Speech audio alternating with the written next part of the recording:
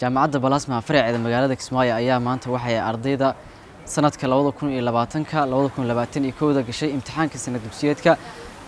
Fasalka toban iyo markaasi labaad u qabatay barnaamij bakhtiya nasiib ah kaasoo ardayga ku guulaysto uu jaamacadda ku dhigan doono si bilaasha.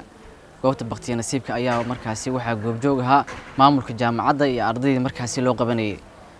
Qaar ka mid ah ardaydii markaasi ku guulaystay bakhtiya nasiibka ayaa jaamacadda balasma kaga mahadnaqay fursadaha dahabiga ee ardayda soomaaliyeed gaar ahaan ardayda reer jubbaland ay u siiso.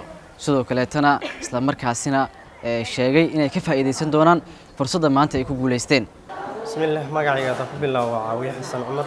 Wallaahi maanta darankayga la soo koobi karo aad baan ugu faraxsanay deeqda waxbarasho ee na siisay jaamacadda balasma markii horena waan rajeynayey kolay qof walbana nasiibkiisa unbuu qaadaya marka aad baan ugu faraxsanahay inta kale ila guulaysatana waxaan leeyahay dhammaantiin idinkana guushaad gaadheen ilahay uga mahad magacayga waa farduus cabdirasaaq khayre kuna guulaysatay kuliyadda mediciinka deeqda waxbarashada ay jaamacadda balaasma bixinayso. Mahad oo dhan ilaahay buu u sugnaaday gaar ahaan mahad waxaan u hayaa labadeyda waalid oo markaan soo baxay ii soo duceeyey markastana ii ducayn jiray. Gudoomiyaha jaamacadda injineer maxamed cabdi jaamac ayaa sharaxaad ka bixiyey barnaamijka maanta ay qabteen iyo ujeedkiisa sidoo kaleetana waxa uu markaasi faahfaahin ka bixiyey kulliyadaha markaasi lagu tartamayey si guud horta muhiimadda ay leedahay iyo jaamacadda hadafkay ka leedahay iyo marxaladahan hadda aan soo marnay ma mid hadda bilaabanaysa mise mid jaamacaddu mar walba soo sameyn jirtay miyaa? Marka waxaan rabnaa inaan isla aragno maybe laga yaabo dadka qaarkood ama ardada cusub inay u tahay markooda koowaad u arkaan inay tahay wax hadda la bilaabayo jaamacaddu hadda bilaabayso inay tahay. Marka waxaan rabnaa si guud jaamacaddu waxay qabanaysaa barnaamijkan oo scholarshipka ah. Sanadkii shanaad ayay qabanaysaa ugu talagashay in sanad walbaba markii la gaaro xilligan oo kaleeto jaamacaddu ay qabato.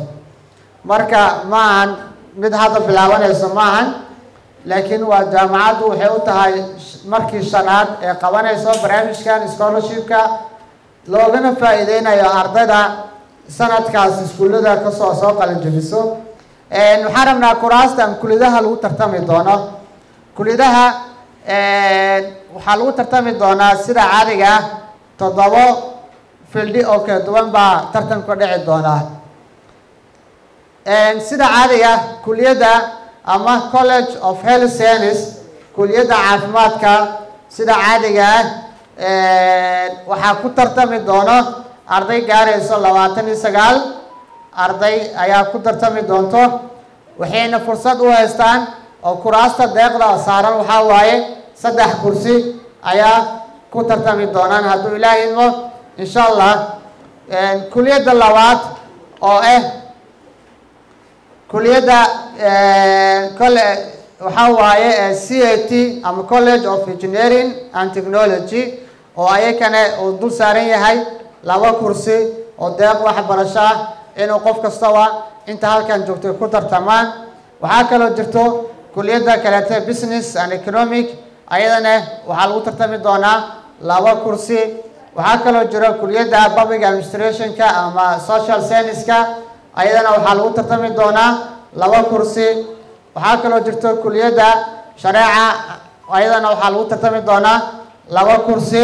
Waxaa kaloo jirto kuliyadda educationka. Ayadana waxaa lagu tartami doonaa saddex kursi.